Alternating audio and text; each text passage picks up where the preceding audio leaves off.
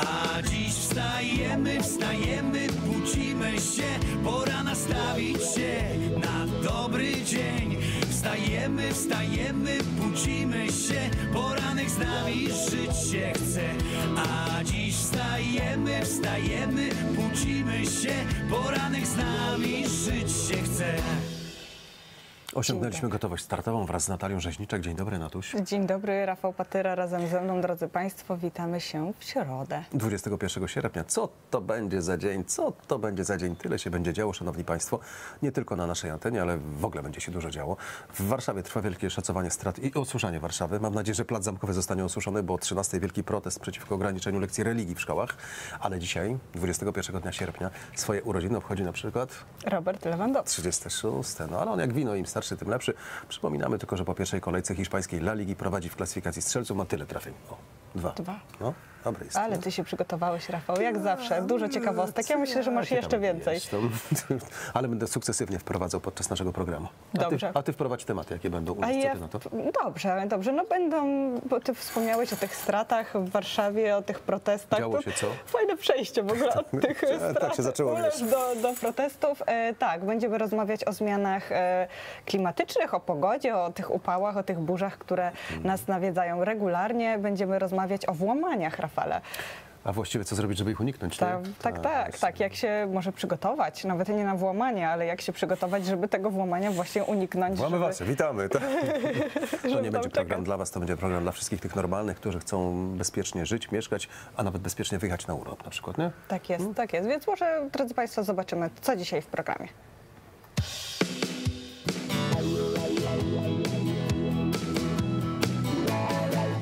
Zajrzymy do leśnej kuchni Karola Kusa, a tam kolejne smaki Azji.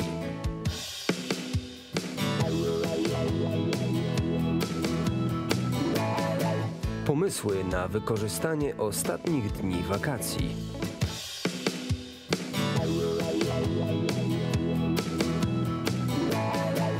Wejdziemy na powstańczy szlak Anny Popek i Marcina Bąka.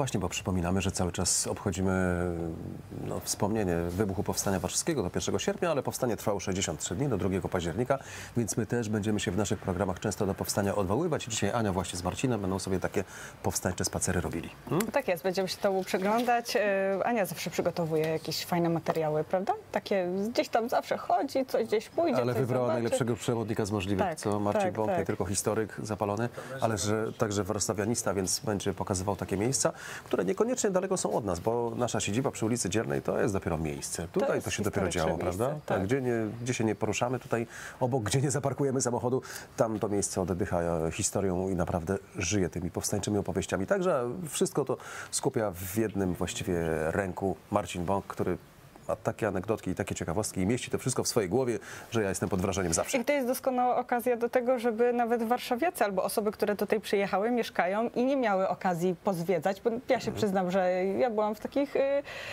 sztandarowych miejscach, czyli Muzeum Powstania Warszawskiego, jakieś inne, ale nigdy Dobry się nie początek. przechadzałam, Dobry wiesz, początek. uliczkami Warszawy y, z kimś, kto by mnie oprowadził i pokazał, y, gdzie co się wydarzyło. Marcin to nie będzie jedyny przewodnik, jaki w naszym programie się pokaże. Przewodnik po kulinarnych smakach Azji, czyli Karol Kus, za chwilkę się pokaże Państwu. Wczoraj zdaje się, że latał sobie po Japonii, wybierając odpowiednie smaki, które może zaprezentować widzom. Wstajemy, a dzisiaj chyba przyszła kolej na Koreę, ale to niech tam już Karol w szczegółach to wszystko wyjaśni. Dzień dobry, Karolu.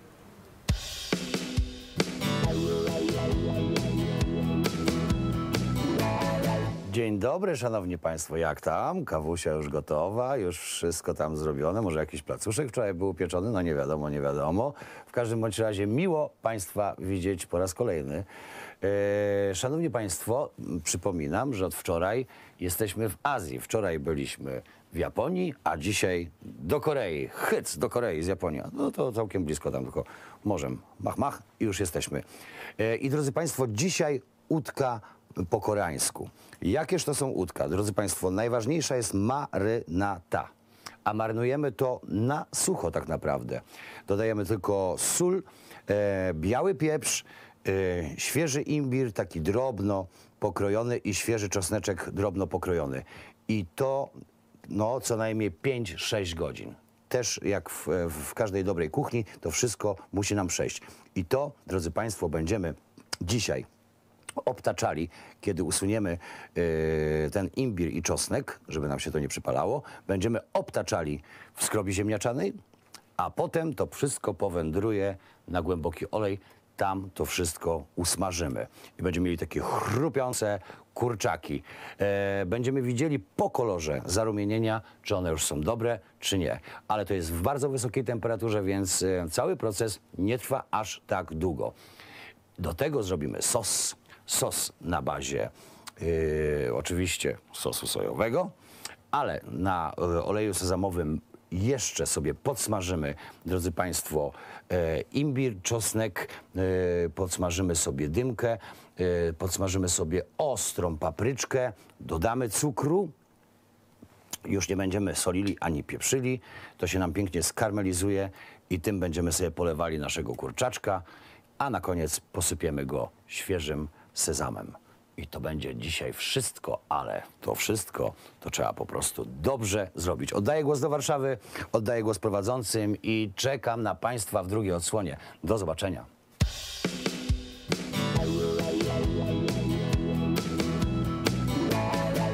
Zapowiada się słakowicie, jak zawsze, prawda? Niespożyte ma siłę ten Karol, ale nic dziwnego, bo zawsze jemu w gary słońce świeci. Zauważyłaś, nie?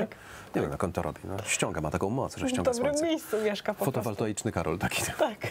Naładowany Ale- zawsze. Ale o kuchni, może przy kuchni zostaniemy, co ty na to, o tych po- podróżach dalekich, tym podróże Dobra. małe i duże. Dobra. Ponieważ jest z nami pan e, Oskar Gwiazda, ekspert do spraw turystyki i Witamy, porozmawiamy panie sobie Oskarze. Dzień dobry. O tym, co jeszcze pod ten, na ten koniec wakacji możemy zrobić i czy pan Oskar proponowałby e, podróż do Azji albo może podróż kulinarną. To jest taki last, last dance wakacyjny już Tak, właściwie. to już właściwie taka, taka ostatnia chwila, żeby wyjechać jeszcze w trakcie, w trakcie urlopu. E, Jeżeli chodzi o wakacje, ja zawsze jestem tutaj zwolennikiem planowania wakacji z dużym wyprzedzeniem. E, Natomiast te wyjazdy last minute e, jak najbardziej Mają pewien urok. mają Nigdy nie pewien- wiesz, na co trafisz. pewien- Jak z pudełkiem czekoladek na UFO Tak, Gampa. dokładnie jak z pudełkiem czekoladek. Nigdy nie wiadomo, na co się e, trafi. E, No to oczywiście mamy bardzo duży, szeroki, szeroki wybór, jeżeli mówimy tutaj o końcu sierpnia, początku e, września, ale także nie można zapominać o wyjazdach tutaj na terenie naszego kraju. Także tutaj, jak mieliśmy wcześniej wspomnienia na temat kulinariów. Turystyka kulinarna. Turystyka Popularna kulinarna, coraz bardziej. Bardzo popularna. W Polsce kulinaria, generalnie gastronomia bardzo się ładnie rozwinęła i coraz więcej zarówno Polaków, jak i turystów z zagranicy przyjeżdża i jeździ po Polsce, między innymi po to, żeby poznać naszą polską kulturę i polską kuchnię, ale także ta międzynarodowa się bardzo rozwinęła w ostatnich pięciu, siedmiu, e, siedmiu latach. Tak mi przyszło do głowy. Y, Teraz trwa w Zakopanem Festiwal Folkloru Ziem Górskich. Przyjeżdżają góry, ale nie tylko z Polski oczywiście, tylko z całego świata. Wczoraj na przykład był Dzień Hiszpański. Można było popróbować pod Tatrami na Podhalu smakołyków kuchni hiszpańskiej. I wielu ludzi y, z całej Polski jeździ tam właśnie po to, żeby tak sobie poznać te smaki. Nie trzeba do Hiszpanii wcale jechać. Dokładnie, bo jeżeli jesteśmy przy temacie kulinariów, warto pamiętać, że poznawanie danego kraju czy danej kultury e, to nie jest tylko poznawanie zwiedzanie zabytków, co oczywiście jest bardzo ważną częścią e, danego, danego kraju, poznawanie jego kultury i historii, ale także mm, takie smakowanie, dotykanie e, tej kultury właśnie poprzez kulinarię, poprzez e, kuchnię. Więc może być to bardzo dobrym wyjściem do planowania na przykład przyszłych wakacji, pojechanie na przykład na e, tego typu festyny czy różnego rodzaju eventy związane z kulinariami międzynarodowej kuchni, żeby zrobić sobie takie preludium do późniejszego zwiedzania kraju. przypominamy, nie jemy artefaktów, tylko świeże rzeczy, prawda? Tak jest, e, jak najbardziej. Panie Oskarze, ja chciałabym zapytać, e, jeżeli taka osoba, obywatel, no nie wiem, któregoś z azja- azjatyckich krajów, zgłosiłby się do Pana, że chce przyjechać do Polski i chce odwiedzić te najsmaczniejsze miejsca, to do jakich miejsc Pan Oskar wysłałby takiego turystę? Jeżeli chodzi o turystów z zagranicy, szczególnie z, właśnie z tych krajów e, azjatyckich, e, to Polska jest dla nich nie tylko dla nich, ale może być takim krajem bardzo e, egzotycznym, E, więc rzeczy, rzeczy, które dla nas e, wydają się takie codzienne, oczywiste, sztandarowe, polskie, no dla nich będą czymś bardzo, bardzo e, abstrakcyjnym. E, W samej Warszawie już e, jest duży wybór różnego rodzaju dań, także kuchni regionalnej. Natomiast jeżeli chcemy połączyć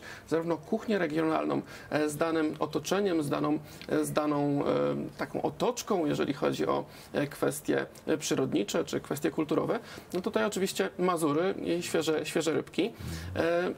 Nad morze też bym e, oczywiście jak najbardziej wysłał. No i klasyka, e, czyli nasze, nasze polskie e, góry i coś, czego my nie doceniamy jako Polacy, a turyści z zagranicy dla nich to jest naprawdę zaskakujące. O, ciekawe co to? Lasy.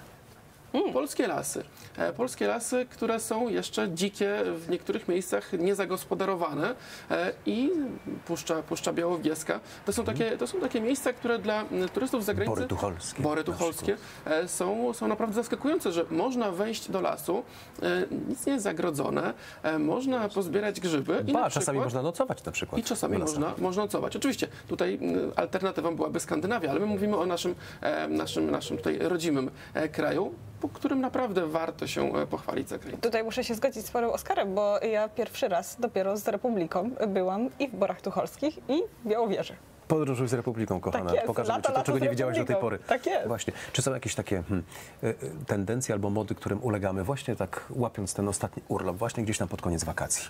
Co wybieramy? W ostatnich latach, mówimy tutaj o takim przedziale około ostatnich pięciu lat, e, zauważyłem, że mm, generalnie turyści polscy, mówimy tutaj o naszych e, rodakach, e, coraz częściej zwracają uwagę nie tylko i wyłącznie na cenę. Oczywiście 15-20 lat temu cena była e, tym Kluczowa. priorytetem, kluczowa. Najniższa cena, nieważne gdzie, nieważne jak, nieważne z kim, ważne, żeby pojechać Kabanosy w razie czego zabierzemy ze sobą. Natomiast na szczęście jakby ta turystyka wyjazdowa, ale także przyjazdowa dojrzewa, jeżeli można powiedzieć, już praktycznie dojrzała, jeżeli chodzi o tutaj rynek polski. Coraz częściej właśnie ta jakość często wychodzi albo na równi z ceną, albo nawet wychodzi na prowadzenie, więc najpierw też zwracamy uwagę na to, gdzie jedziemy, w jakim standardzie, w jakich warunkach i dopiero później patrzymy na ten oczywiście bardzo ważny element, czyli, czyli cenę. Tak a propos lasów, to pokazujemy park, który jest niedaleko naszej siedziby, prawda? To można spocząć wygodnie pod lipą, czy niekoniecznie. Nie, nie brakuje takich miejsc, brakuje. żeby sobie e, wypocząć. Panie Oskarze, ja chciałam zapytać, bo tak zauważyłam wśród e, swoich znajomych, że coraz więcej osób zaczyna wyjeżdżać właśnie pod koniec wakacji i to jest zaplanowane. To nie jest tak, że te osoby sobie gdzieś tam odpuściły, a dobra, gdzieś tam wezmę last minute i tak czekają do samego końca, e, tylko robią to ze względu na ogromną ilość turystów w tych takich popularnych destynacjach i wybierają już ten czas, właśnie koniec sierpnia, początek września, żeby tych turystów jednak było troszkę mniej. To jest bardzo ważny aspekt e, wyboru raz destynacji, e, dwa terminu. Tutaj wspomniała Pani właśnie, że ten termin koniec sierpnia, początek września e, to jest też bardzo dobry e, czas na zwiedzanie, ale oczywiście musimy zwrócić uwagę na to, czego oczekujemy. E, Nie każdy ma możliwość wyjechać na początku września, jeżeli na przykład ma e, dzieci, Dzieci, które chodzą do szkoły, prawda? albo dopiero zaczynają e, chodzić do szkoły, na przykład no, pierwsza klasa, więc to, to nie można odpuścić, nie wolno nawet, tak? I lepiej nie zostawiać dziecka I lepiej samego, nie zostawiać tak. dziecka samego. Dlatego, dlatego ten wybór koniec września, początek, znaczy koniec sierpnia, początek września jest bardzo dla, dobry dla osób, które mają taką możliwość i rzeczywiście wtedy jest mniej turystów w danych destynacjach i oczywiście można na przykład wtedy się bardziej skupić na e, wypoczynku, a nie na e, korzystaniu e, z danej destynacji raz, wraz z innymi turystami, którzy, no, których po prostu jest bardzo dużo w szczycie sezonu, jeżeli są jakieś właśnie przerwy wakacyjne, czy właśnie lipiec, sierpień, gdzie właściwie cała Europa, praktycznie cały świat ma, ma czas. No, szczyt sezonu, czyli sierpień, y, lipiec, sierpień, no ma to do siebie, że ceny też są najwyższe. Wystarczy odczekać troszeczkę, jeśli ktoś oczywiście ma możliwość i pojechać nie wiem, w połowie września, czy nawet na początku września i już odczujemy to w kieszeni. Jak najbardziej odczujemy to w kieszeni i także w jakości usługi, bo im mniej jest turystów, e, tym jest jakby Więcej mają czasu dla ciebie. Więcej mają czasu y, dla, dla właśnie dla tej osoby, która, e, która podróżuje. E, Tutaj też bardzo ważnym aspektem, który zaczął się pojawiać w ostatnich 3-4 latach, jest kwestia temperatury. Coraz częściej turyści zwracają oczywiście uwagę na cenę, jakość, ale także jaka jest temperatura w danym miejscu, na danej destynacji. E, Kiedyś oczywiście Hiszpania, e, Włochy, Grecja, no to były pierwsze pomysły na wyjazd lipiec-sierpień.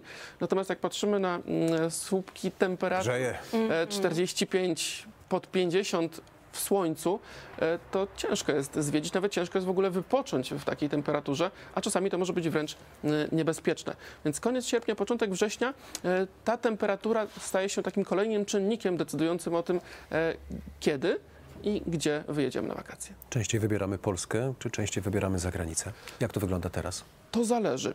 Jeżeli patrzymy na e, statystyki, to mm, tutaj bardzo ciekawie to się odbija e, ze względu na sytuację covidową, którą no, mieliśmy parę ładnych lat temu, która miała także swoje pozytywne aspekty. Dla turystyki. Dla turystyki polskiej, tak? Bo y, gro Polaków nie mogło wyjechać z wiadomych względów Ale bony mieli. mieli bony e, i to rozwinęło jakby turystykę polską. E, Powstała dodatkowa baza hotelowa, powstały także dodatkowe usługi. One także zwiększyły swój, swój, swój zakres i oraz swoją, swoją jakość. I jakby ta baza hotelowa, świadczenia zostały. Później otworzyły się oczywiście rynki, więc ten rok, czasami półtora roku niewyjeżdżania spowodował, że chcieliśmy jechać za granicę jak najdalej, jak najwięcej. E, I ten polski e, rynek e, turystyczny został rozbudowany ale w tym roku i w zeszłym nie został w 100% zagospodarowany, więc jakby pojawiła się konkurencja, a konkurencja powoduje, że ceny się obniżają i zwiększa się nacisk na, na jakość, więc Polska może być bardzo dobrym wyborem. Panie Oskarze, to tak na koniec zapytamy, czy jest jakiś taki polski hit, który może jest nieoczywisty, ale który tak gdzieś wyrósł nam w ostatnim czasie i który warto polecić i obcokrajowcom i może nam też? E, Jeżeli chodzi o taki polski, polski hit, to tutaj mm, niekoniecznie konkretne miejsce czy konkretny region, tylko właśnie nastawienie się na e, taką e, kulturę kulinarną połączoną ze zwiedzaniem i poznawaniem e, danej, danej okolicy. I coraz więcej właśnie powstaje takich mm, może nie sklasyfikowanych jako gwiazdkowe miejsca hotelowe, czyli cztero czy pięciogwiazdkowe, tylko bardziej e, czy to pensjonaty, czy to e, prywatne inicjatywy restrukturyzacji dawnych, starych zabytków, gdzie jest bardzo wysoka jakość, e, jest renowacja na przykład jakiejś e, starej szkoły. Duch e, historii Duch historii pojawia się dokładnie w danym, w danym miejscu. I to jest też bardzo ciekawe takie właśnie połączenie, którego kiedyś brakowało w naszej turystyce, mm, turystyce polskiej, a teraz ona wychodzi rzeczywiście na zupełnie inny poziom, nawet nie tyle konkurujący z mm, usługami z zachodu, ale mógłbym nawet stwierdzić, że w niektórych aspektach nawet e, będący lepszy, bo polski. Polak potrafi. Mamy taki pomysł, pro, propozycja od pana Oskara Gwiazdy. Być może e, ktoś będzie chciał się wybrać na taki dłuższy weekend, no bo jednak lecisz za granicę, to musisz sobie wziąć wolne, więcej tego wolnego w pracy, a Nie jeżeli gdzieś wiedzą, w Polskę, tak. Nie wszyscy to wiedzą, zwłaszcza za oceanem. Hej, my jesteśmy w środku Europy, taki kontynent, wiecie, stary. tak jest. Dziękujemy, Dziękuję panu bardzo. Dziękuję. A propos tych wycieczek, to choćby może i my. Miejsce być może nieoczywiste, na spacer pójdziemy po Warszawie, yy, ale też ta, takie warte yy, odwiedzenia, zwłaszcza jeśli ktoś pasjonuje się historią Polski, a może nawet yy, powstaniem warszawskim. Wspominaliśmy o tym, że jeśli się ruszymy tylko tutaj z naszej siedziby przy ulicy Dzielnej, gdziekolwiek, w, obrębie, nie wiem, pół kilometra, to natrafimy na tyle miejsc, które wiążą się na przykład z powstaniem, czy w ogóle z historią Polski, że, że można opowiadać długo. A jak opowiadać, no to oczywiście Marcin Bąk i Ania Popek. Oni wybrali się na taki spacer.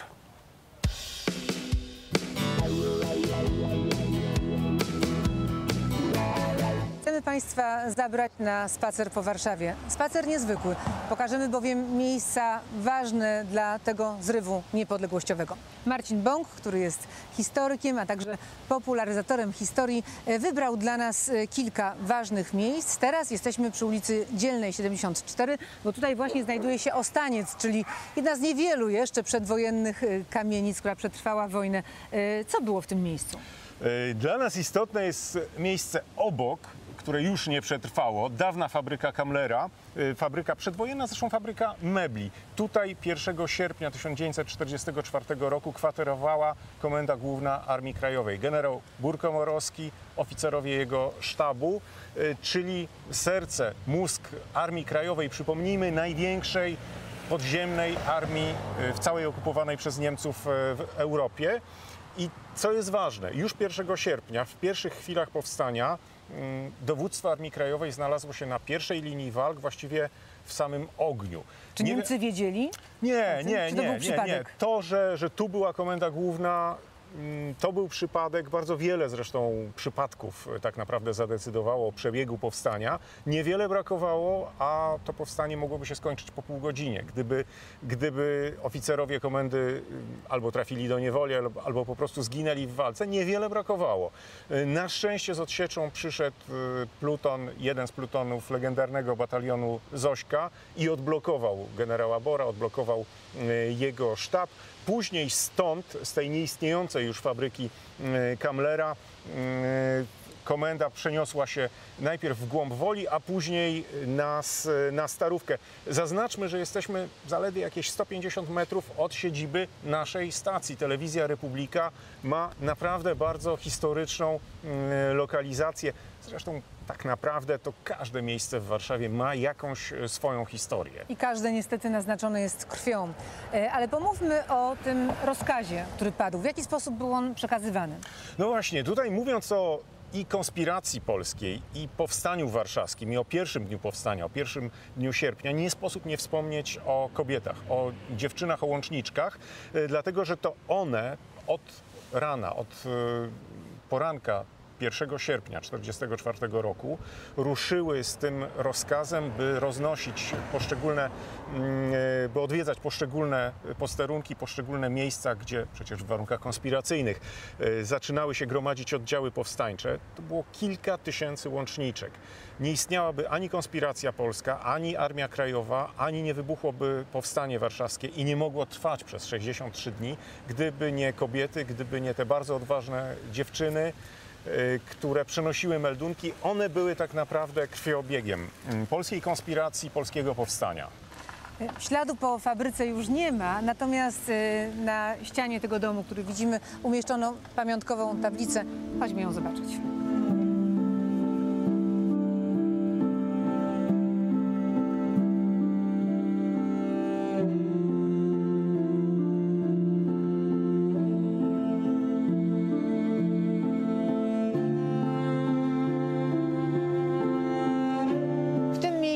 1901-1936 funkcjonowała warszawska fabryka mebli stylowych. Podczas okupacji niemieckiej właściciele i część pracowników fabryki czynnie współpracowali z polskim państwem podziemnym, czyli wszystko się zgadza. Pierwszych sześć dni powstania to tutaj właśnie e, była siedziba Komendy Głównej Armii Krajowej.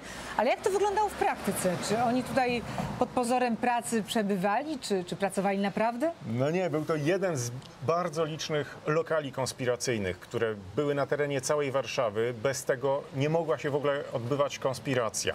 Yy, Tak jak mamy na tej tablicy zaznaczone, właściciel fabryki, znaczna część pracowników była w e, strukturach Polskiego Państwa Podziemnego.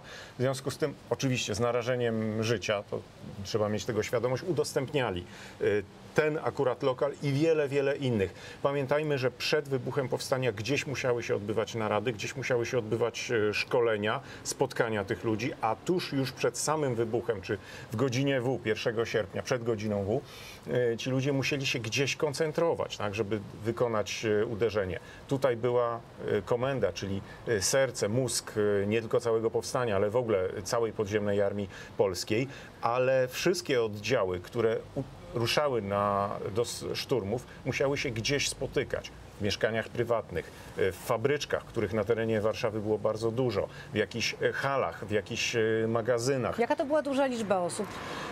Tutaj historycy nie są co do tego zgodni, ale o ile cały okręg warszawski liczył około 50 tysięcy zaprzysiężonych żołnierzy Armii Krajowej, mężczyzn i kobiet, bardzo duża liczba. Oczywiście broni było może dla kilku procent. E, Ilu stawiło się 1 sierpnia, trudno powiedzieć, na terenie samej Warszawy. E, Może było to 20 tysięcy ludzi, może było to 15 tysięcy ludzi. Bardzo, bardzo trudno jest to jednoznacznie powiedzieć. W każdym razie były to tysiące ludzi, którzy po prostu chcieli walczyć o wolność, nie chcieli, żeby ktoś, zwłaszcza ktoś ze wschodu, im tą wolność dał. Proszę Państwa, y, to było miejsce, y, w którym powstanie się rozpoczęło. To było y, to miejsce startu, ale odwiedzimy z Marcinem jeszcze kilka. Pokażemy Państwu też, w jaki sposób ludność cywilna dawała sobie radę w tych dramatycznych momentach powstania warszawskiego. Bardzo dziękuję.